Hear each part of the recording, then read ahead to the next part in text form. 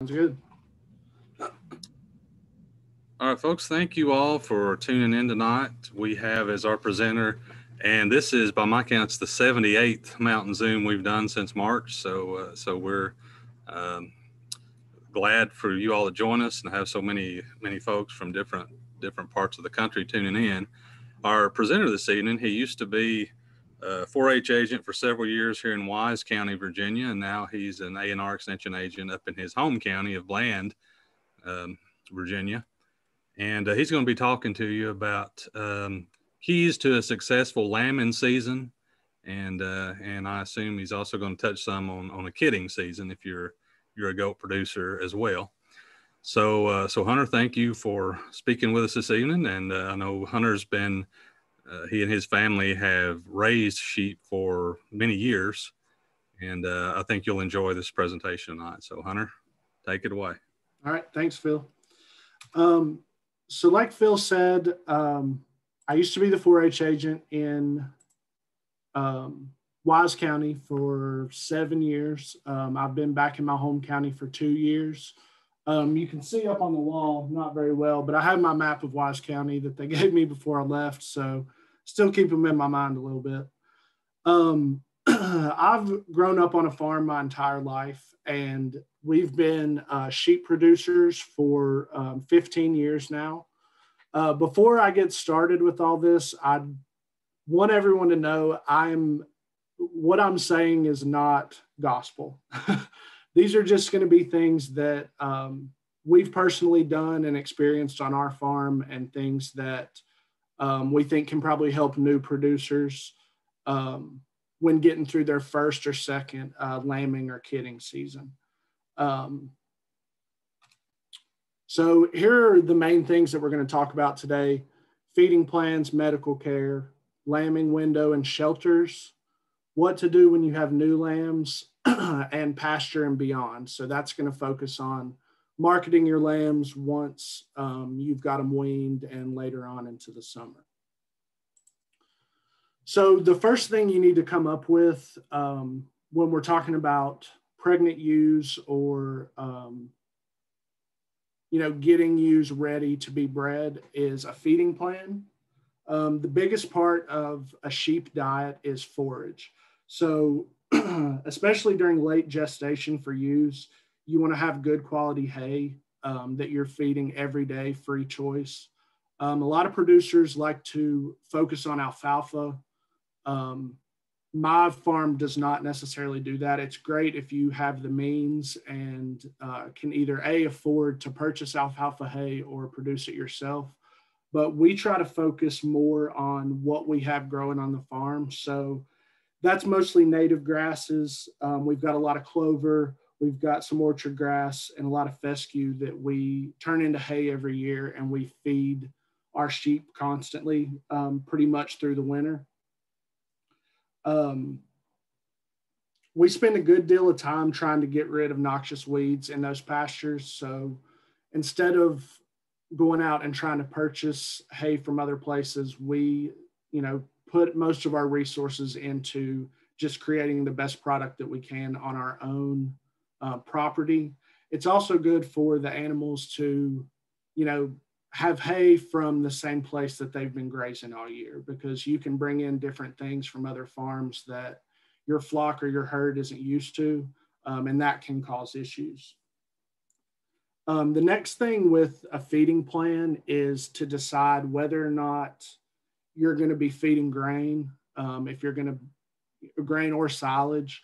Uh, we focus on purchase grains that um, we get from a local feed mill in Wythe County. Um, we typically only feed from November to March. That's, you know, our pastures are pretty much gone during that time. So uh, we do a flat rate feeding. So we feed the same thing to all of our ewes during gestation and after they have their lambs, um, like I said, from November to March. Um, another option that you could do is step rate feeding, which that's um, giving sheep a certain amount of feed and then gradually increasing that the closer that they get to um, closer to lambing. And the same thing with goats. The closer to kidding, you increase their feed um, whenever those due dates get close. Um, the final part of a feed plan that you should focus on is your feed bunk management.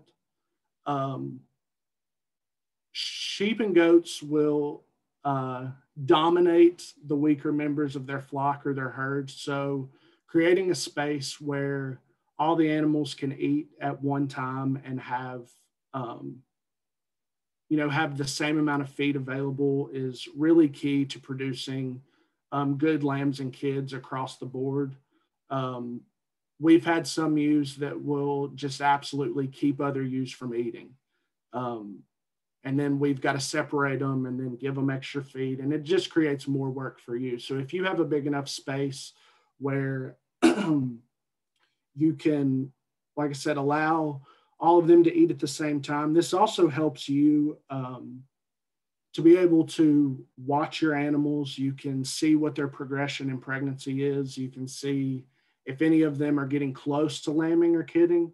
And if that's the case, if you want, you can separate them out and, you know, kind of get them prepared to have their babies.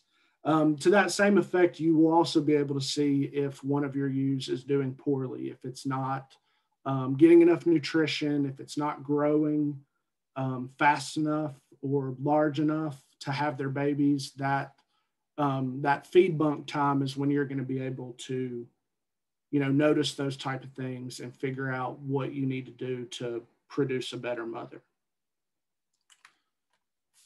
Um, so here's a list that I put together of the best hay stuffs for sheep. Um, this is very similar for goats as well. Um, like I said, we have a lot of orchard grass here, tall fescue, um, timothy, and red and white clover. Um, everything on this list right here will make good hay for sheep um, any time of the year, but it, um, it'll be just as good during um, you know, lambing season and gestation.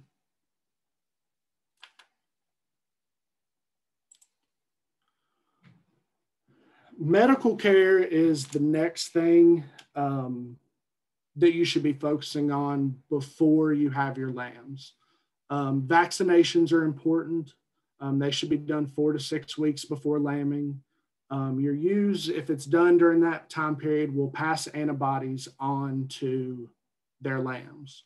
Um, the closer that you get to lambing, the vaccines, the antibodies haven't built up in the ewe enough yet, and they're not going to pass those on to their new babies. Um, so the vaccine that I'm talking about specifically, it's called CDT. Um, what that is preventing, it's called the CD part is enterotoxemia type C and type D. Um, type C is known as bloody scours. Um, that typically happens in very young lambs that you know are in their first few weeks of life. Um, it's a bacteria that gets in their body and just causes them to dehydrate. Um, and there's pretty much no coming back from that in lambs if they get uh, enterotoxemia type C. They're pretty much done for. Enterotoxemia type D, um, which is the other part of this vaccination, it's known as overeating disease. And it typically forms a few weeks after a lamb has been born, and it generally happens to your biggest and best lambs, the ones that are growing fast, they're getting big, they look really good, and they get this bacteria that just causes them to constantly eat and bloat, and they can die from that. And then the T part of the CDT vac- vaccination is tetanus or lockjaw. Um, we all know what tetanus is. If a lamb gets it, that's pretty much it for that lamb. Um, so, like I said, four to six weeks before lambing, uh, this is called passive immunity. So, that's the you passing on those antibodies to the lamb or to the kids. Um, you can vaccinate lambs after they've been born if you decide you don't want to vaccinate your ewes. But typically, um, those vaccines don't do a lot in really young lambs. It takes, um, they need to be, you know, a few weeks older before those antibodies are really going to build up um, in those new babies. The next thing is deworming. Um, I'm personally not a big fan of deworming. We do it sometimes when we absolutely have to.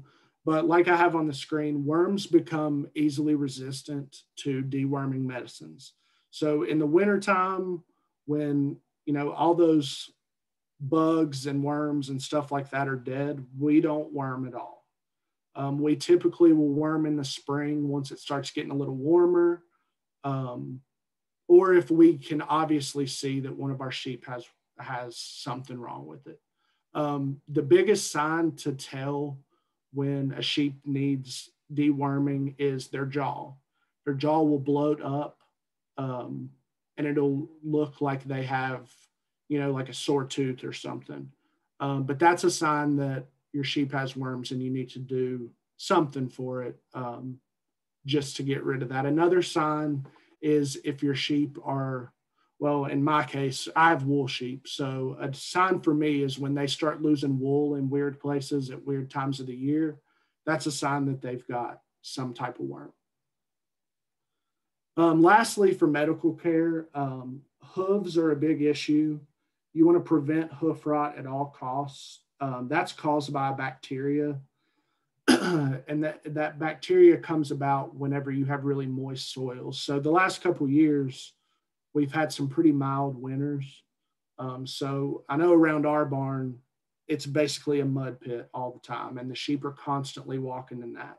So that wet, you know, mud and manure and everything else will soften up sheep hooves and let that bacteria get in their feet, and then you've got hoof rot. And hoof rot bacteria is contagious in sheep. So if one of your sheep gets it, chances are you're going to have three or four or five sheep, you know, come down with sore hooves. Um, so you want to keep that infection rate low and treat them as soon as you notice there's, you know, something wrong. See them limping around the field or laying down when they eat or getting down on their knees when they eat. That's a sign that there's an issue with their hooves.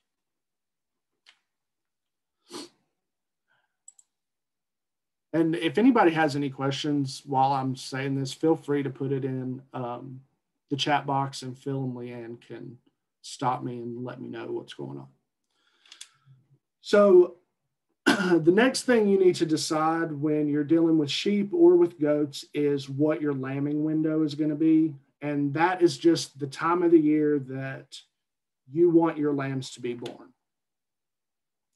And this picture is a picture of my lambs from last year. So we had a pretty good lambing season um, in 2020, one of the only good things that have come out of 2020. Um, so, yeah. so, lambing window is all dependent on when you are going to introduce your ram or your buck. Hold on one second.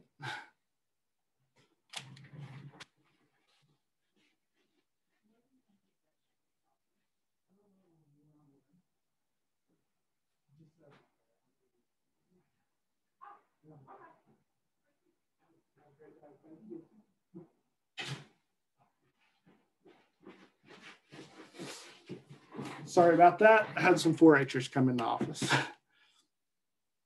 So like I was saying, um, lambing window is all dependent on when you put your buck or your ram sheep in with your ewes. Um, in general, sheep and goats gestate for 150 days. That's five months. Um, you can pretty much set your watch by that 150 days. Um, when we first started off as sheep producers, we would put a marker on our ram so that we knew what day he serviced a ewe so that we could plot out when that 150 days was going to be. We could get that ewe pinned up um, or separated from the rest of the flock so that she could lamb on her own. Um, now, after 15 years of doing this, we don't mark our sheep anymore like that. We just let it ride. And, you know, once you've gone through a few lambing seasons or kidding seasons, you're going to be able to tell when your ewes or your does are going to get close to lambing. Um, so I've got up here on the screen, if you introduce your ram or um, buck in August and September, you want to expect lambs um, around Christmas time through the end of February. October to November, it's going to be late February to the end of April. And then December to January, you're going to have lambs in the late spring, early summer. Your lambing window plays the biggest role on what type of shelter you need to have for your sheep or your goats. Um, what I'm about to talk about right now focuses mostly on sheep because that's what I have the most experience in.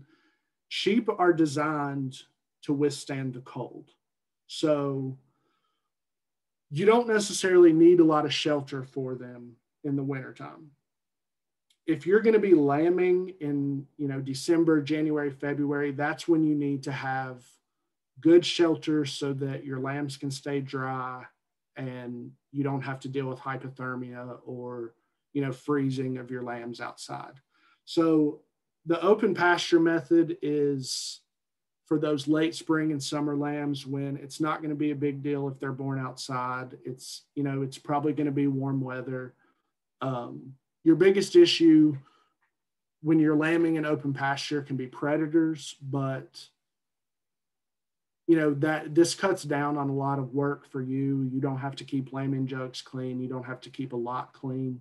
Um, you know your animals are just out living their life. Um, the lot method um, is more for earlier in the spring and late winter uh, lambing.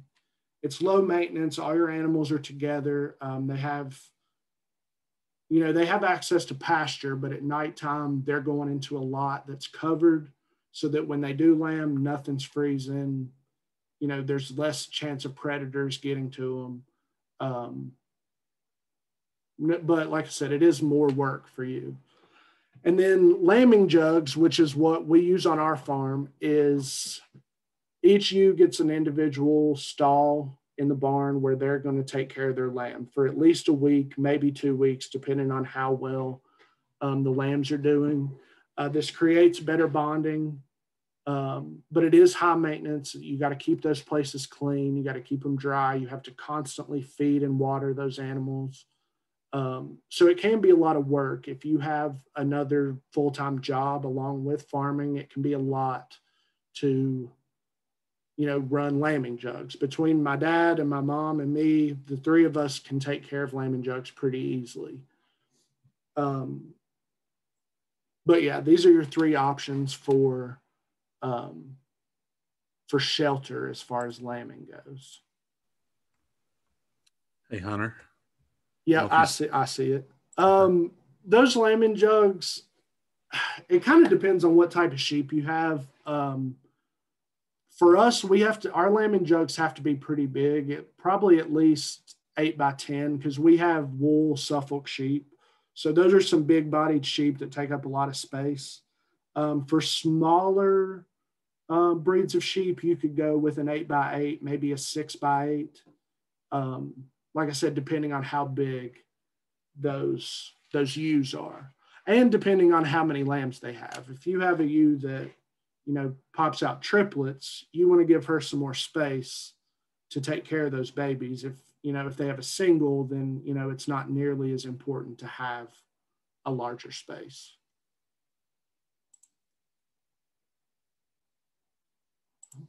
There we go. So here are the pros and cons of early and late lambing. Um, I do early lambing. Most of my lambs are going to be born from January 1st to the middle of February. So the cons, like I said, there's more need for shelter from wind, snow, rain, any weather issue. There's a higher risk of hypothermia among lambs. Um, confined spaces in a barn can cause a buildup of ammonia um, from urination from all of your animals. So if you don't have good um, airflow in those places, that can cause pneumonia in your sheep. Um, and then we have an increase of feed and hay consumption because they don't have constant access to pasture. and then some of the pros, we don't have to deal with predators when those ewes and lambs are in a lambing jug. They're inside the barn, they're protected. You know, we're not going to have a coyote get in there and get our lambs. Um, there's a lower instance of parasites because they're separated from the rest of the flock. So that you can just focus on her and her babies and, you know, isn't going to get anything that's going around the rest of the herd. Um, lamb bonding uh, can be a big issue in some larger flocks. Um, we've had some ewes that have stolen lambs from other ewes. Um, so keeping those, you know, that ewe and her lambs in a jug for a few days is going to help them know exactly who their mom is and who their babies are, and there's not going to be any confusion among the flock. Then when we talk about late lambing, um, like I said, there could be a high risk of predation uh, because sheep are typically typically still going to be out on the field um, with no protection from predators. Um, there's a high risk of parasites and fly strike when the temperature is warmer. Um, high risk of hoof rot, which we talked about earlier. And then, like I said, potential for ewes to steal lambs or reject their own lambs. And then the pros less need for shelter, less need for nightly checks. And then you have plenty of pasture along with any type of hay that you have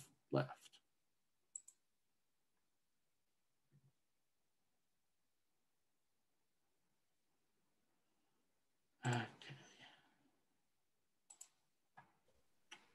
I don't know if you saw that uh, other question there. Uh, oh, make it square. Um, that's up to you. Um, we have square uh, lambing jugs. We've also got um, some circle lambing jugs that we put together. Um, so that's just kind of a preference.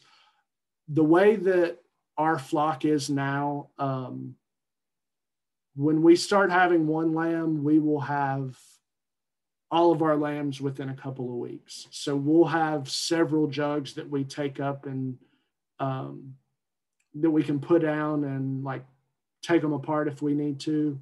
Um, so our barn will be crammed full of lambing, clam, ugh, crammed full of lambing jugs. So they all might be different shapes.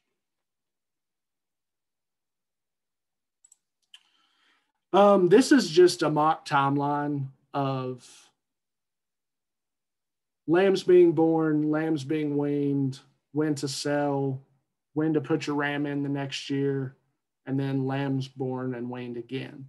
So, well, we're going to talk about all that in the next slide.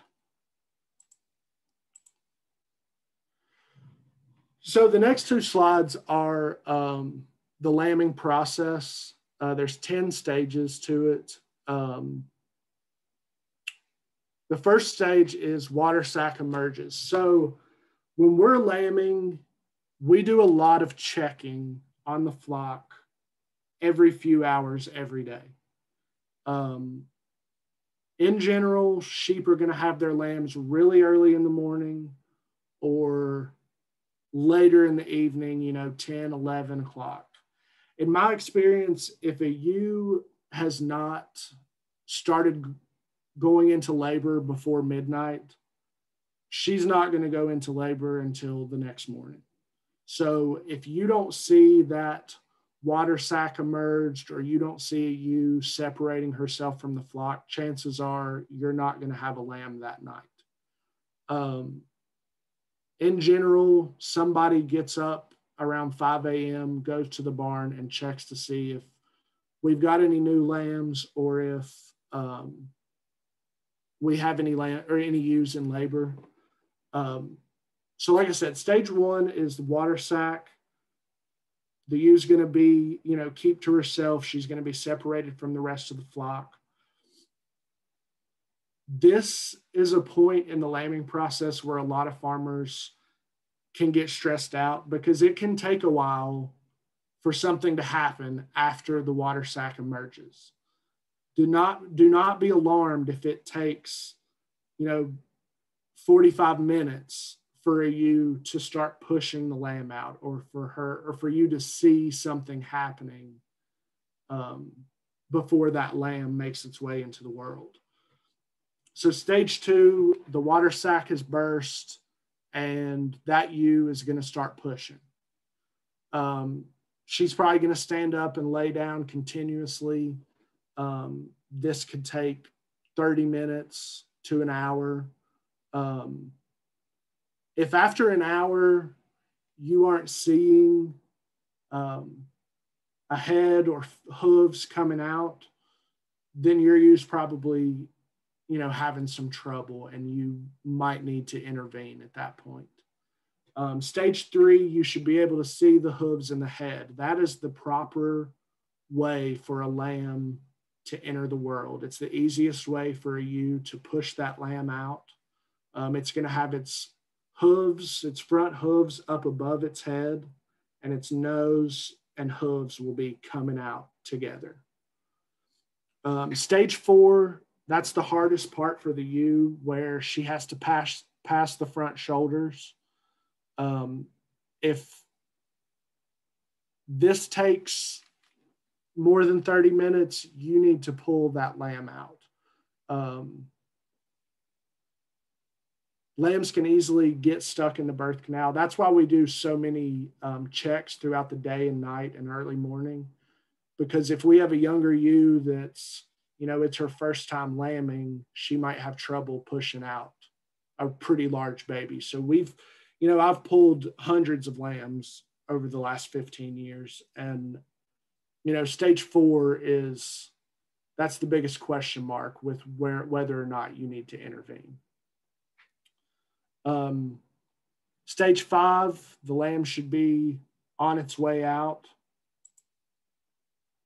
Stage six, on the ground, lamb is, um, you know, trying to take its first breaths.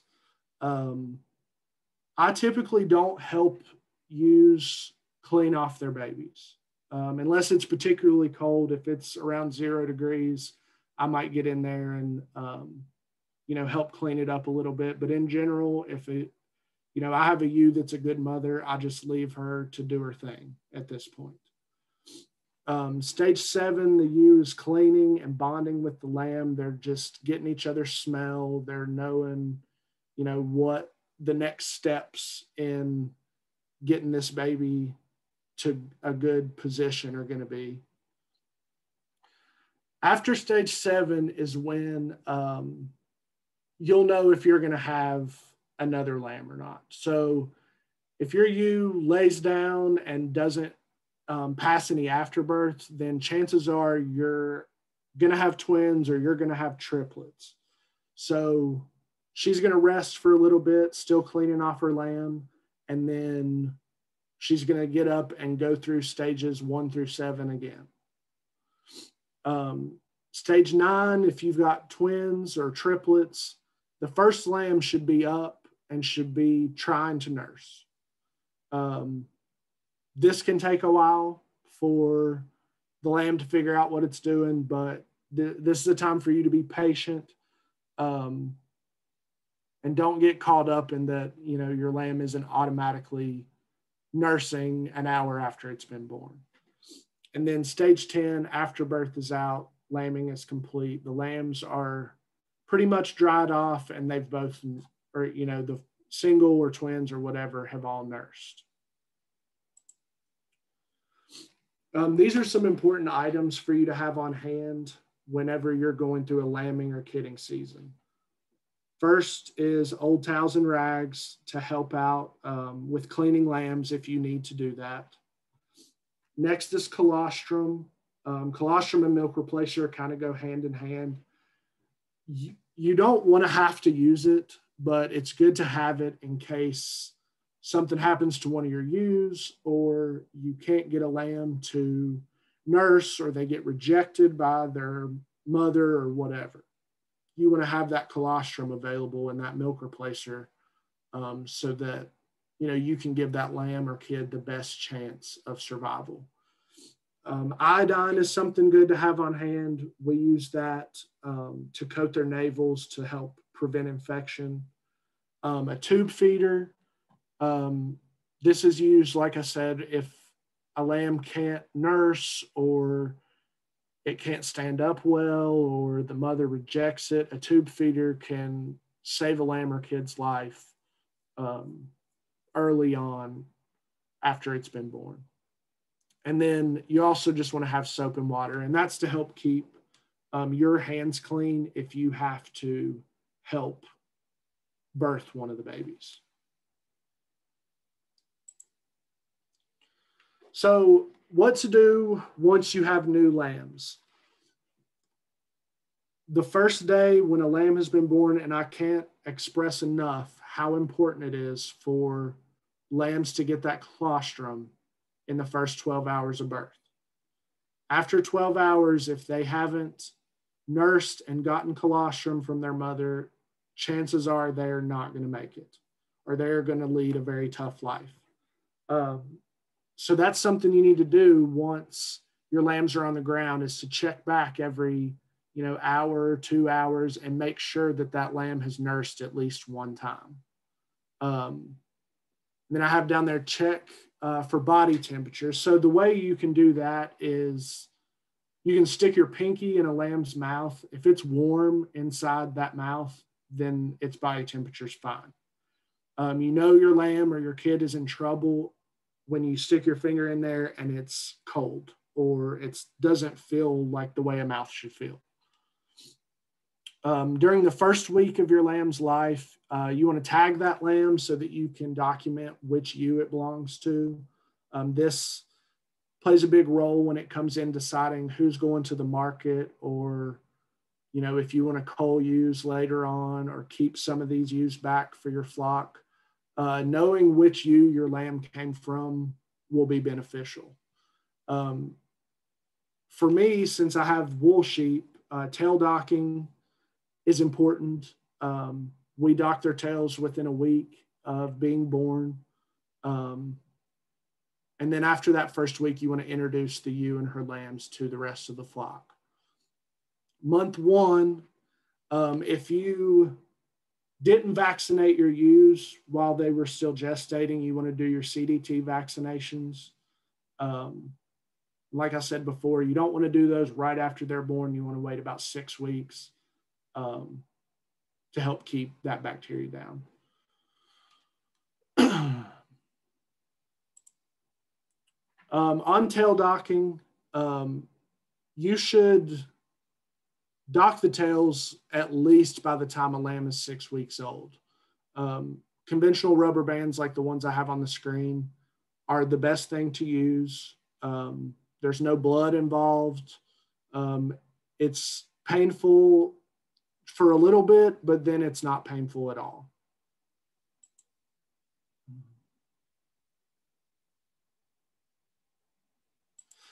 Um, Docking tails for us cuts down on manure buildup on the sheep, makes shearing easier in the spring, and makes ewes more accessible for breeding that next year.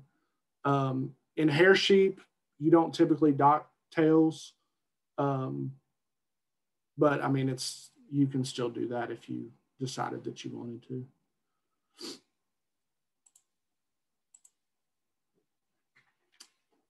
Um, Next, we have what to do after your lambs have aged a little bit.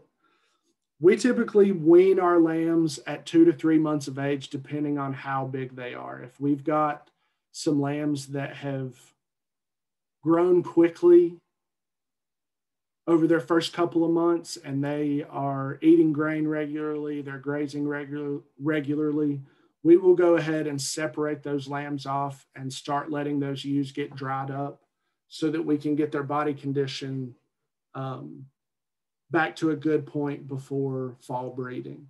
Um, after three months of age, even if they're not super big, um, as long as they're eating grain regularly and grazing regularly, we will go ahead and separate those out too. Um, we dry lot all of our lambs at first when we um, wean them. We give them a lot of, we they have free choice hay. Um, all the time, and then we feed them grain daily. Um, for the first two or three weeks. After those two or three weeks, um, we'll turn them out on pasture um, for a couple days a week. And then by about a month of being weaned, they're on pasture full time. There's less hay, and we're only giving grain sporadically. Um, for around here, ideal market weight um, for sheep is 65 to 80 pounds. Uh, that's when you're going to get your best price typically. Um, and they're approximately five months old to six months old um, whenever they get up to that weight.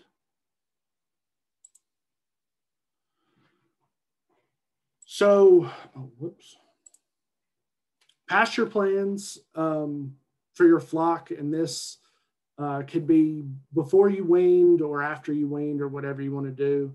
Um, one is continuous grazing. That's the least, um, it's the least amount of work for you. Your animals have access to as much forage as they want. Um, the issues that we find here are that weeds persist in those fields because the animals can decide what they want to eat and what they don't want to eat. So weeds are going to grow because they're going to eat all the good stuff and um, you know you're going to have to go back and take care of that eventually. Um, the next option you have is simple rotational grazing. This is in general what our farm does. We've got about four pastures that we rotate our flock through um, throughout the spring and summer and fall. Um, when forage is growing quickly, our rest periods aren't really that long. We'll give them about a week before we'll rotate. Um, in the fall, once the pasture, you know, isn't producing as much, we'll let the rest periods go a little longer. Um, the next option is to do intensive rotational grazing. So what that is is having a lot of smaller pastures you're rotating very quickly or you know very more frequently than you would in simple rotational grazing. Um, it's a lot of work uh, to get those animals moved all the time and to you know keep fences up and all that. Um, but it's good for your it's good for your pastures because they will eat everything down um, including the weeds. And then we have the last option is mixed rotation or mixed spe- species grazing. So that's having cows or horses or sheep and goats together um, grazing the same pasture. Um, it helps with parasite control. Um, cattle and sheep and goats don't pass parasites back and forth. Bovine parasites are not going to get in your sheep and vice versa. So this can help cut down on parasite control. And the last thing I have to say about all this is do what works for you. Um, like I said at the beginning, everything that I've talked about today are things that we do on our farm. Um, we've had pretty decent success with that over the years. Um, but yeah, so if anybody has any questions, let me know.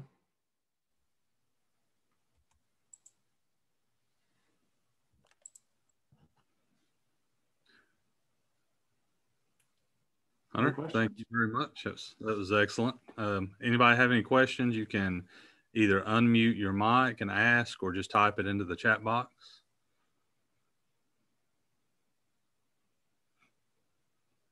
Well, one question I have, it's, it's sort of related to lambing season, but here in Wise County, I think since you've left, we, we've just started to see some of the black vultures coming in. Yeah, I know that's a real susceptible time. Is that something that you see much of up in Bland County? Or have you had those? Um, we sometimes um, we I have had people call um, to ask what they should do with prey birds getting on their sheep and goats like that. Um, I don't really have much of an answer for it. Um, I haven't had to deal with anything like that. Mm-hmm. Um, but I mean, I would say, especially dogs, as far as protection animals, dogs will help with okay. that for sure. I don't necessarily know if uh, llamas or donkeys would help um, with birds, but I know that I think that dogs would. And we have a question from Matt Webb. Uh, where are we marketing our lambs up here? Uh, there's a lot of local livestock markets. Um, I take mine to the Narrows livestock market. A lot of people, um, if they have a larger flock or a larger herd of goats, will load up and go to um, Pennsylvania, um, to New Holland, where they're going to get more of a premium price. Um, but I don't do that. I don't have a big enough haul that I would take that far to make it worth my while.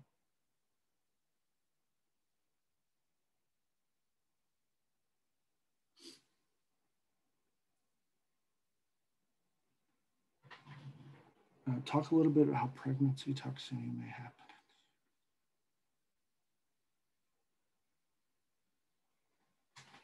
Okay, so uh, we have a question about pregnancy toxemia. Um,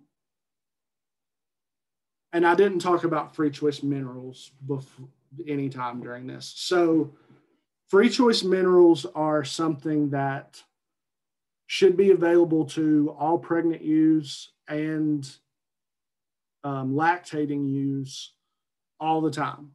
Um, that's going to supplement them with anything, especially because it's wintertime. They're not on pasture. They're not getting everything that they would normally get um, from their forages. So having those minerals in there is going to help cut down on anything um, as far as toxemia goes um, that they could get.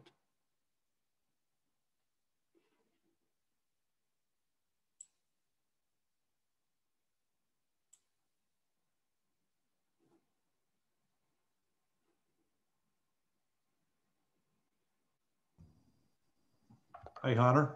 Yeah. What type of, uh, I want to see what type of feed uh, maybe you, some of the other people are feeding. Uh, right now, I'm feeding a, a three-way feed uh, that I get at the farm store. But uh, on, on a visit over at uh, the Castlewood farm store recently, he told me that it may have some copper in it. I was wondering if that, anyone else had heard that, maybe Danny or anybody you. Um, I don't know about if it has copper in it. And it was, um, we, I use a three way that he thought that, that the uh, copper may be in the gluten. I don't know. That's something I'd have to look at because I use a three way feed too. Okay, that's what. Um, so yeah, that's definitely something we can find out about. You may have been trying to sell me the more expensive feed too. yeah, that's possible.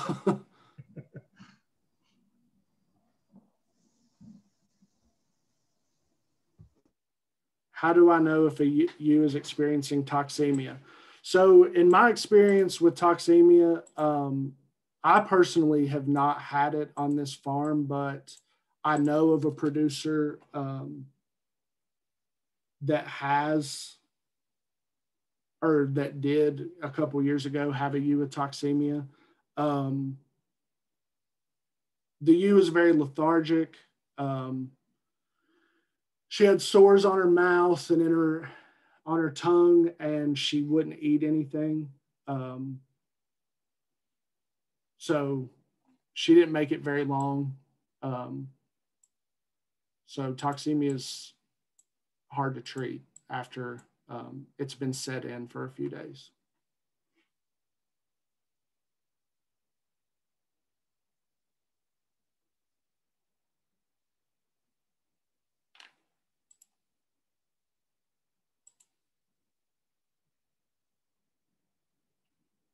right, any other questions?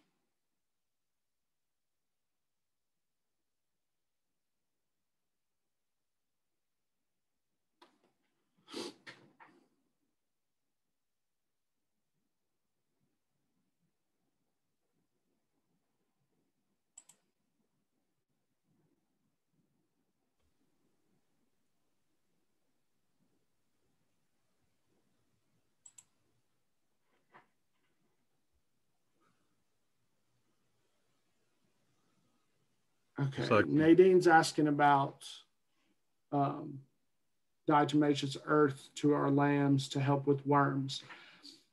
I have never given a lamb anything for worms. Um, normally whenever I have lactating ewes, if we happen to worm, it'll be during that time and they help pass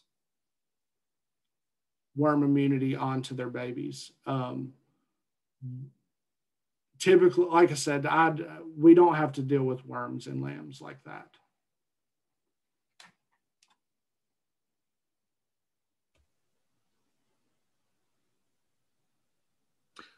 I'm seeing some suggestions in the chat box too. Uh, Matt had, had talked about hanging dead vultures uh, to to discourage the bite vultures from coming around. And if if you're not uh, not dealing with black vultures yet, uh, you, you, probably will eventually. Um, and let's see, Joanna has a link for some uh, uh, pregnancy toxemia information.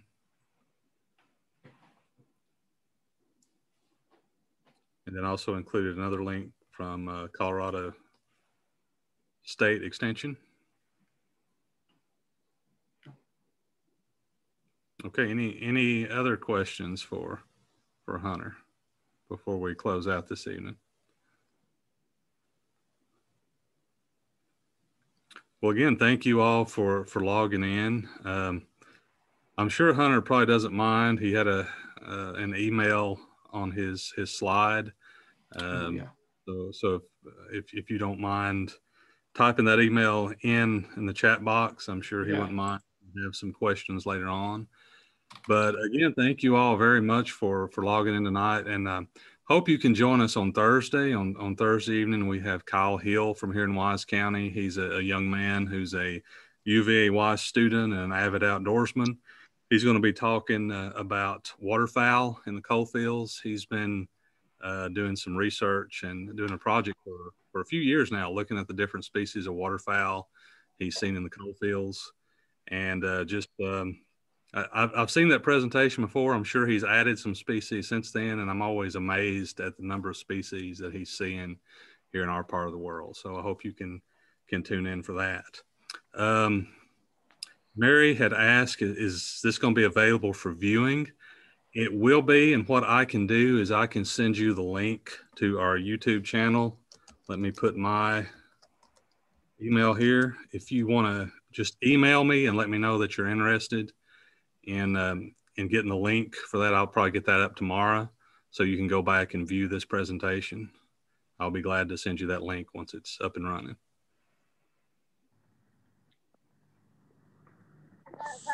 Hey, hey, Hunter, this is Jeremy Williams over in Harlan County. Uh, great information. Thanks so much. Uh, no problem. Thank you all for having me. Good stuff. Hey, Jeremy, you got anything to add for uh, for upcoming Zooms? I don't. Uh, I know we've got several great ones coming up, so uh, uh, should be should be pretty good. Should be should be fun. Good, great information.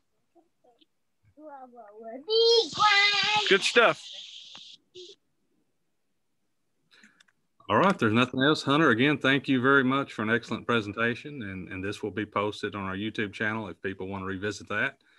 And um, hope you all have a good evening. All right, thanks.